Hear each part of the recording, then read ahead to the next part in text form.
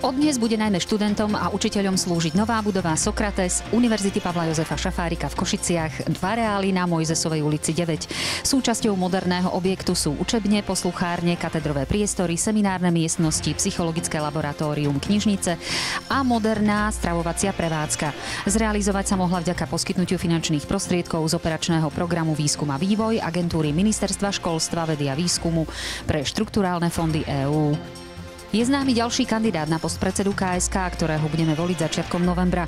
K súčasnému županovi Zdenkovi Trebuľovi, kandidátovi strany Smer, bývalej poslankyni Národnej rady Márii Sabolovej za KDH a Martinovi Padovi, ktorého do volieb posiela SDKU, pribudol Vladimír Grtler ako kandidát strany 7 statočných. Voľby budú 9. novembra. Verejná knižnica Jana Bokácia oznamuje svojim čitateľom, že v pobočke v Šatci zmenili otváracie hodiny. Kým doteraz mala táto knižnica zatvorené len v útorok, od dnešného dňa sa do nej nedostanete ani vo štvrtok. Vo zvyšné dni bude mať otvorené ako obvykle. V pondelok a v stredu od 10. do 18. hodiny a v piatok od 8. do 16. Zmena platí do 5. októbra.